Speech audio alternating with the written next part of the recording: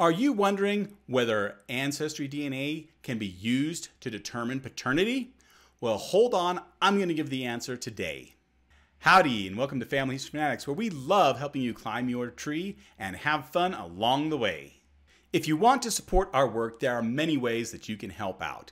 In the description below, you will find links to our website, to free guides, as well as more information. The most important thing you can do is leave a comment and share this video with others. DNA is amazing at identifying close relationships. So I'm going to explain how DNA might be able to be used to determine paternity and whether Ancestry DNA can be used for that.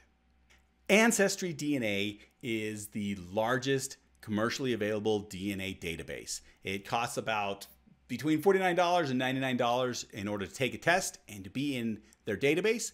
And one of the amazing things about DNA is that it can tell you about close relationships almost exactly.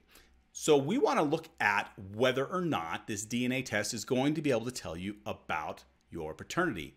Now, in order to do this, what you would have to have is you would have to have two people take a test. One person who doesn't know who the father is and the potential father because you actually have to compare these two tests together. Ancestry is going to do that comparison automatically. So you've gotten your results, and now we come to the answer to the question of whether Ancestry DNA can tell you your paternity. And it's in two parts, actually. Now, the first part is actually rather easy.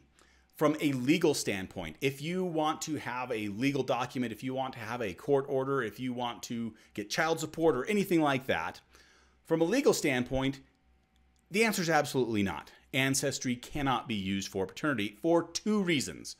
One, their terms of service prohibit it right now.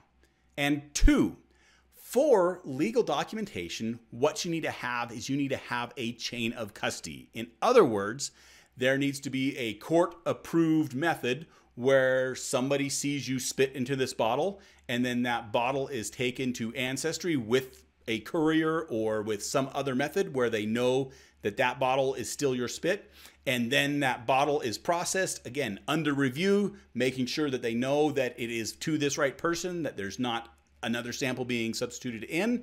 And finally as far as results they're being reviewed again under some sort of review to ensure that the results that come out are the original person that spit. When you think about when you're doing a dna test ancestry sends you a box now, you told them your name, but your name could be anything. In fact, if you want to watch our video about how I did a DNA test for Phil Garnett, who is not a real person, does not exist, you can check it out in the description below. We'll leave you a link. So, because of this, Ancestry has no definite way to tell that this sample actually came from you. It might have come from your brother. It might have come from your sister. It might have come from your dog. Because of that, there is no chain of custody. And so, from a legal standpoint, you are not going to be able to use Ancestry DNA for determining paternity. That's the first half. But the second half is, is let's not worry about a legal standpoint. Let's just worry about a genealogical standpoint. Does your DNA show who your father is? Now, again, going back to the beginning of the video, I told you that you needed to have two people the person who doesn't know who the father is and the suspected father because you're comparing these two. Because of such a close relationship, in almost all instances, Ancestry DNA will be able to identify this person as the father or not the father. It's really that simple. You're either that closely related that you have to be the father, or you're distant enough that you're not the father. Now, that might be an uncle or a cousin or, you know, somebody else of that suspected father. The one instance, though, that you should always be aware of and always be thinking in your mind where this falls apart is with identical twins.